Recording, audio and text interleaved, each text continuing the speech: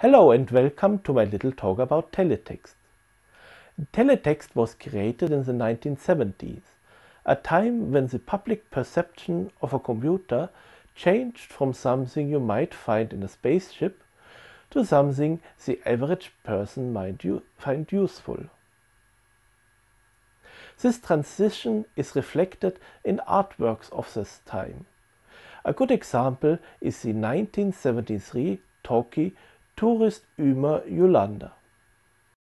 In this movie, the alien Mr. Spock, who is proficient in the use of computers, talks to Mr. Ömer, a Turkish tourist, who immediately finds uses for this device. Aa bu makine ne makinesi böyle ya? Kompüter. Ne, ne işe yarar bu abi? Her soruya cevap veren bir cihazdır. Profesör ve karısı Orin 7 gezegenine 5 yıl önce gelmiş. Aa bu makine kadın konuşuyor ya. Tabii konuşuyor. Şey ben de bir sual sorayım mı kendilerine? Yalnız şu anda olmaz. Elime bir sual de ben sorayım abi. Ne alırsın sen? Olmaz dedi Mr. Turist. Ya bir makine için kırma kardeşini ya. The talkie Tourist Ömer Uzay Yolanda is also known as Turkish Star Trek and not to be confused with Xaver und sein außerirdischer Freund, aka Bavarian Mac and Me. Ihr Hirsch! Ihr Hirsch! Grunz, grunz! Der Läusel! Da auf der Sau! Macht der das bloß? Wie ist es auf so eine Sau? Wird Sau! Auf geht's, wir's! Genau! Or of course Italian Rondo Veneziano. Since computers were still expensive and most people could not program them, the plan was to provide people with terminals. Now terminals need to get their data from somewhere. There were two approaches for this. The obvious one was to get the data over the telephone lines. For this you would essentially dial up a computer at your local post office and interact with their computer. This was known as View Data, Minitel or Bildschirmtext. Text. The system discussed here, however, is different. In teletext, the data is provided inside the television signal. For this line in the blanking interval are used. In principle, all the lines that are occupied by other signals could be used for teletext data. However, some decoders do not support data outside of the time close to the blanking interval. The large remainder of the time on the signal was used to transmit moving pictures. Now let's look at a complete signal in more detail. This illustration is based on the actual CVBS output of a consumer-grade satellite receiver decoder. Each scan line is shown here similar to how it would appear on the face of a cathode ray tube.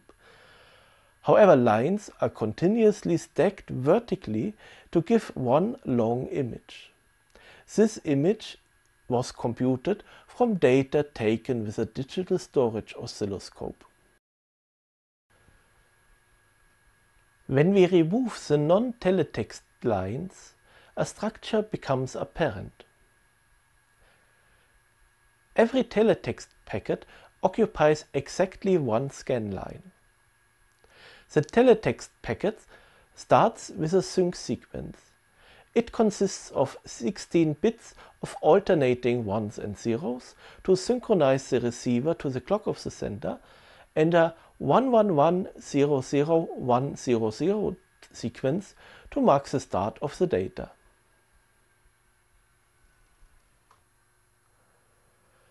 The next 16 bits define the packet address. Hamming encoding turn two quarts of bits into two octets. This encoding is rather common in teletext and the details can be found in the specification. The 8 bits of the packet address consists of 3 bits for the magazine and 5 bits for the row address. Magazines are a way to transmit up to 8 independent streams of teletext data. The stream is selected by the first digit of the page number. The row number determines how the rest of the line should be interpreted.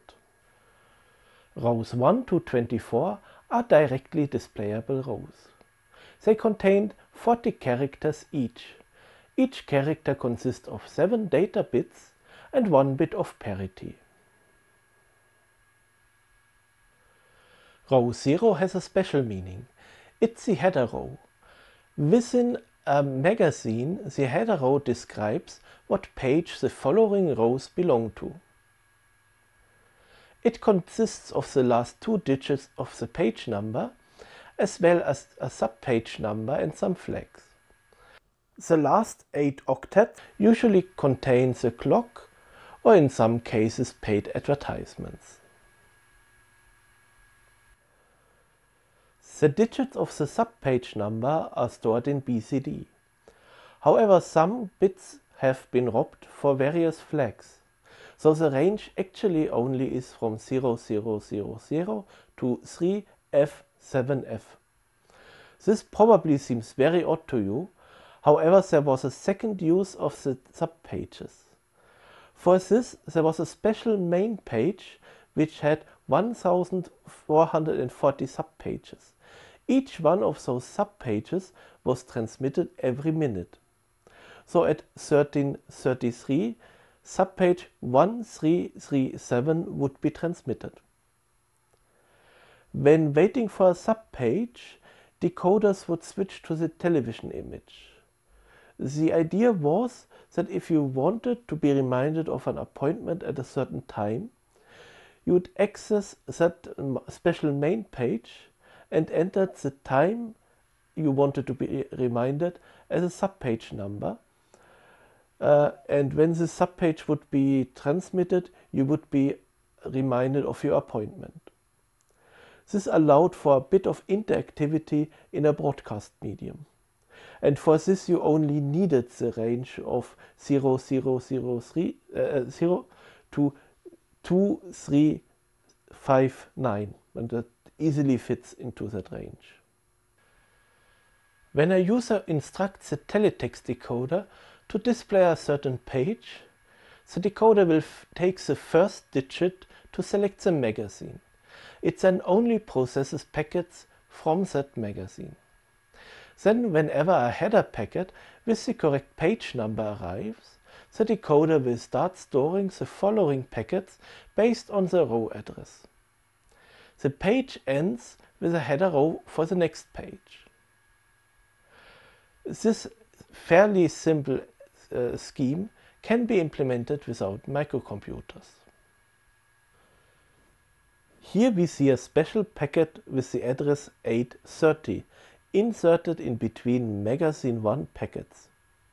This packet is described in section 981 of the specification and encodes the initial page for the teletext service as well as the time and date and the time zone as well as the status display.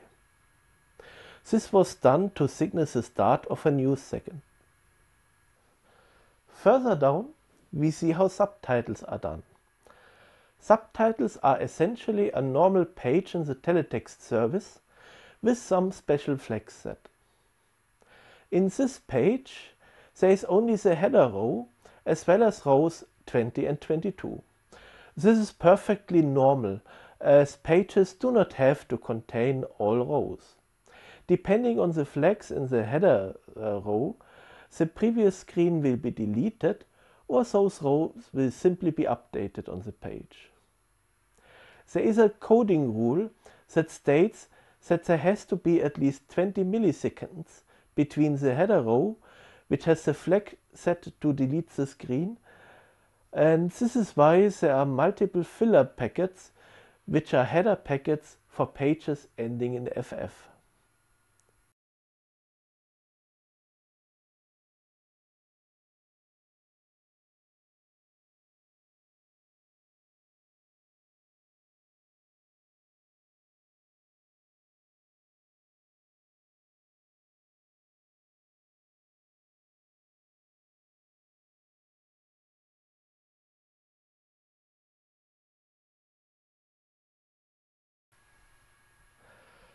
In their simplest form, teletext decoders only store 7 bits per character cell. Each of these character cells can include one of 96 displayable characters or 64 graphics characters in 8 different foreground and background colors. They can be double height extending downwards, they can blink and be in a special box mode used for subtitles. Characters can even be hidden until a user presses a special reveal key, which is how quizzes are implemented on teletext. This looks like it would take a lot more than 7 bits per character cell. The solution to storing such a full page of graphical information in such a limited space is called serial attributes. The idea behind it is that you rarely want to change attributes of a text in the middle of a word. Each cell can store a code between 0 and 127. Only the codes 32 to 127 are used for displayable characters. The codes from 0 to 31 encode control characters. Those control characters change attributes for the following cells. The attributes are reset at the start of each line. Character codes 0 to 7 encode the foreground color and switch to the text mode. Character codes 16 to 23 do the same as 0 to 7 but switch to mosaic mode. In mosaic mode, everything but uppercase letters get replaced with a 2x3 mosaic of blocks. Character codes 8 and 9 turn blinking on and off. Character codes 12 and 13 turn double height text off and on. Characters extend downwards and cause the next line to be ignored. Character code 26 sets the background color to black and 27 sets the background color to the foreground color. Other functions are encoded in other character codes. Let's look at how teletext is used in an ordinary consumer setup. In this example, I use a higher-end digital satellite receiver decoder, which is essentially a Linux box with specialized hardware. It can be controlled by a web interface or SSH or a special remote. This remote sends out coded bursts of infrared light encoding what button is pressed. This allows for more functions to be available than with conventional ultrasonic remotes. The user first selects the desired channel. Not all TV channels have teletext, but most of the larger ones have. Teletext is indicated by an icon with three horizontal black lines. Pressing the teletext button starts the teletext decoder. In our case, this is a nearly full-featured software decoder. You can see that it takes a while for the first page to arrive. This is the time it takes for this page to come up in the broadcast. Our decoder here has 3 GB of random access memory, so it can easily store every page of a teletext service. Pages have a 3-digit number plus an optional 4-digit subpage number. The first digit specifies the magazine. It can be any digit from 1 to 8. The last two digits are actually encoded as hex digit, so they can, can go from 0 to F. However, the remote controls over typical consumer equipment does not have the buttons for A to F, so a user cannot directly access these pages. The panel on the right side is generated by the decoder itself. It uses the table of pages feature introduced into teletext in the late 1980s.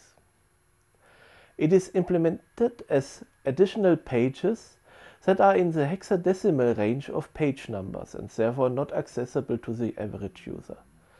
This table contains a tree of pages as well as other semantic information which, for example, videotape recorders can use to find the program listings page. Since teletext is a real-time medium, it can be updated in real time, and therefore real-time applications can be done. For example, this page provides you with a list of songs played and currently playing on one of the radio channels of this broadcaster. Some providers have debugging and status pages in their services. This page, for example, shows a test page for teletext decoders. The sequence of blocks and *s allows the bit clock recovery of the decoder to be aligned to its proper frequency. It has a minimal number of bit transitions.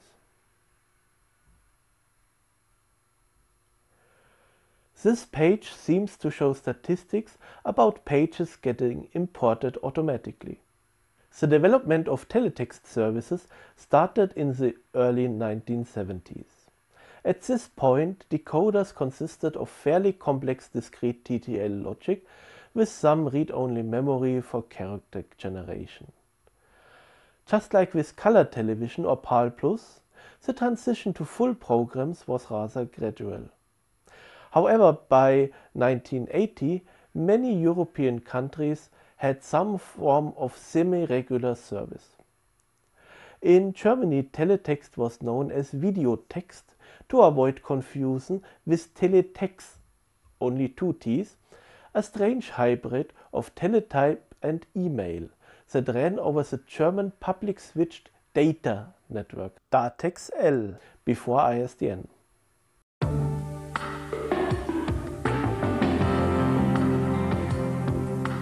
Was tun, wenn ein Lieferant Sie plötzlich im Stich lässt? Sie suchen sich einfach einen anderen, ob national oder international, mit Teletext, einem Kommunikationsdienst der Telekom. Aus einer Anfrage wird ein Angebot und dann ein Geschäftserfolg. Der Erfolg hat viele Väter, die Kommunikationsdienste der Telekom. This was also when it entered the consumer market. Notice that the advertisements also mention Bildschirmtext, which was a service like ViewData or Minitel, which essentially turned your TV into a computer terminal.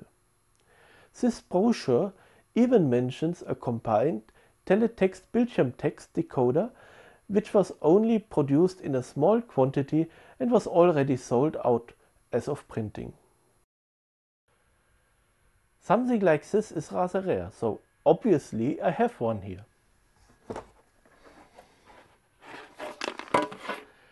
However, since this talk is about teletext and not Bildschirmtext, it is completely irrelevant for this topic.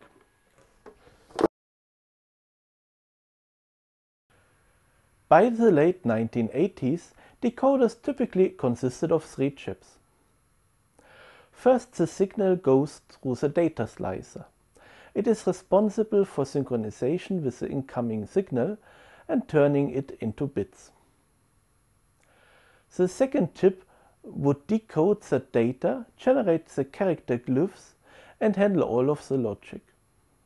The third chip was the memory chip. In this case, this is a 8 kilobyte SRAM chip. Notice that the decoder itself does not have any microprocessor inside.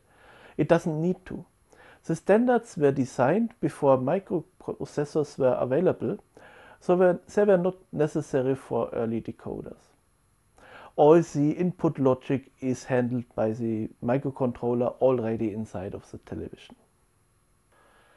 Of course, today teletext is done via digital video broadcast.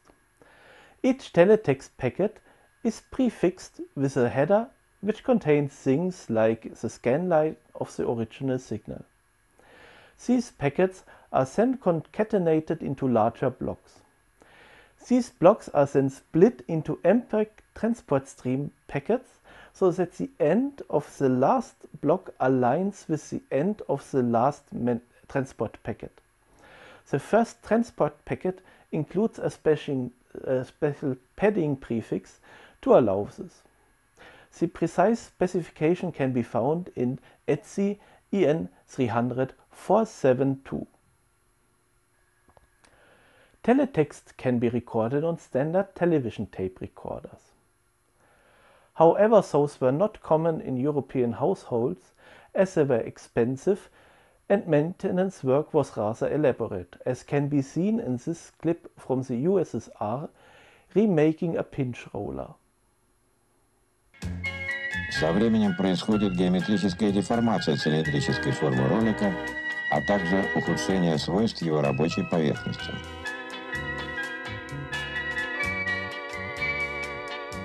Это ведет к неравномерности движения ленты в тракте видеомагнитофона и опасности ее повреждения. В научно-производственной лаборатории Ленинградского телевидения была разработана технология восстановления первоначальных свойств приземного ролика. Она заключается в специальной обработке его поверхности. Приспособление закрепляется в резцесодержателе высокоточного токарного станка. Instead, consumers had so-called color under recorders, which split the signal into chroma and luma, which are then recorded with limited bandwidth. These recorders were often cheaper than a car and could store up to 4 hours on each side of a small pocket-sized book ca tape cassette. The bandwidth of this teletext signal should theoretically fit into the band-limited signal. However, in order to simulate a sharper image, many of those recorders use a non-linear crispening circuit. This makes the equalization of the signals difficult. However, this didn't stop, stop some people from trying, and reconstructions of various quality can be found at this website. I myself operate a little setup to capture teletext. For this a small computer connected through a DVB-S tuner to a satellite antenna captures one transponder after another. Custom software takes in a full transponder and examines the transport streams for teletext data.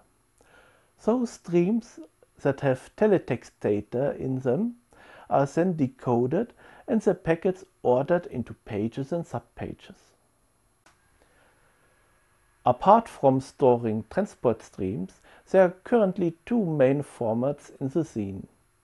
The simplest and most obvious one is T42. Teletext packets contain 42 octets of data. Those octets are simply stored one after another. You can recognize those files by their file size, which is a multiple of 42. One format I generate is TTA, the teletext archive. Essentially, it's like the T42 format, but with the packets sorted by page and subpage number. Additionally, there is an array of all possible 2048 main pages with 2 bytes each determining the number of packets per main page. This allows for faster access in the files. I regularly upload my dumps to archive.org. Unfortunately, there is no easy way to present them the data yet. Newer versions of teletext allow for having 32 colors at the same time out of a palette of 4096, as well as bigger character sets and redefinable character sets. Those features are rarely used today and go under the label level 2.0 and 2.5. They are implemented by additional teletext pages with higher row numbers. Some of those packets can even be shared between all pages of a magazine. The additional data needed for redefinable characters are stored on additional pages, usually with a hexadecimal page number. Further levels define proportional fonts and side panels to have a page with more columns. But they are not really implemented. The specification of the current version of teletext can be found in ETSI EN 300 706.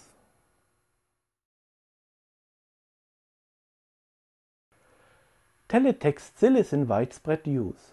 For example, the German ARD text has millions of daily active users of the teletext service. In some countries, however, teletext is only used for subtitles. Unlike normal DVB subtitles, which are essentially bitmaps, teletext can be transmitted hidden in an analog video signal like closed captioning. This has, the, has advantages in areas like hotels where there still might be analog video distribution to normal TV sets. Of course, there is also publicity for teletext. Here's a commercial for adult services on teletext. Der Kabel 1 Teletext. Die ganze Welt in Pixeln. Hengst. Ey, Alter, fahr sofort dein Ding wieder ein. Das ist doch alles nur Show hier. Baby, beruhig dich. Ist doch nur mein Schlüssel. Für was? Dein Tagebuch? Hm? Oh ja, ja. Lust auf mehr? Seien auch Sie hemmungslos und lassen Sie sich verführen auf Teletextseite 600. I don't know either. However, I'm looking forward to your questions. All right, Christian, are you there? I'm here. I'm here. All right. you. We just finished uh, the video. All right, Mhm. Um, so, do you want us to take questions now? Sure, sure. All right. Anybody have any questions for Christian uh, about the teletext? Was there much implementation of teletext outside of PAL regions? As far as I know, there were some experiments in the US. Uh, there was, um, of course, teletext in France. Um, they had actually a different uh, uh, system of teletext, but eventually switched over to the one used in PAL region. France, of course, uses SECAM. There also was some uh, in Eastern European countries which also had uh, SECAM. They also used the standard teletext. So uh, usually, uh, as far as I know, it was mostly implemented in PAL and SECAM regions. All right. He said, thank you. Any other questions for Christian about the teletext? He said, is it dead in the age of digital TV? Surprisingly not. Uh, I don't know if you can see the uh, capture of my satellite receiver. That's actually on an HD digital satellite channel. And most of the channels actually kept their uh, teletext uh, services when they switched over to digital and turned off their analog signals. Um, the largest provider claims that they have several million viewers per day, but I have no idea how valid this is uh, since there is no way to actually tell how many people are using teletext since it's a broadcast medium. But it's still alive and still used. There are still widespread services uh, with uh, often more than 1,000 pages per, per channel. All right. Thank you. Uh, any other questions? Well, last call. All right. Looks like that's all the questions we have. Christian, we appreciate you your talk. There were some little glitches on our end, but uh, since I have the file, um, you probably will be the first one to be uh, uploaded to our channel later on. Um, uh, we'll see. All right. So, anything else you want to say before we go? Well, uh, thank you very, very much for having me here. Um, I think, uh, uh, and as thank you very much for all the work you do. And uh, well, um, uh, this is not something I have learned during my English lessons at schools. How long did it take you to prepare your, your video? And you, do you have to do a lot of research, or is this something that you have um, you have uh, you've just you know as a hobby been doing all along? Well, actually, uh, back in about 1987, we got our first television set with teletext decoder, and um, I didn't have any access to computers, so this was the only digital medium I had. And then, uh, of course, I was interested in technology, and uh, the Austrian television, which we could just receive, actually had a course on teletext in teletext.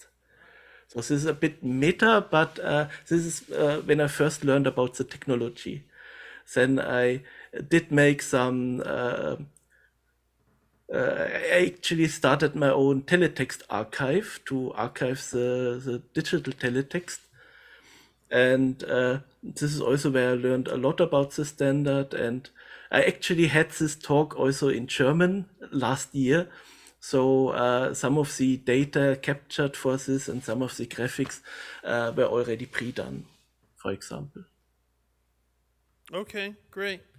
Well, if there's no more questions, we thank you very much, Christian, and appreciate your your talk. Um, and maybe uh, you know if when we post a stream, then there might be follow up questions that people might ask on the stream because that often happens. Yes. All right. I ha- keep my eye on this. All right. Have a good day. You too. Bye. Bye.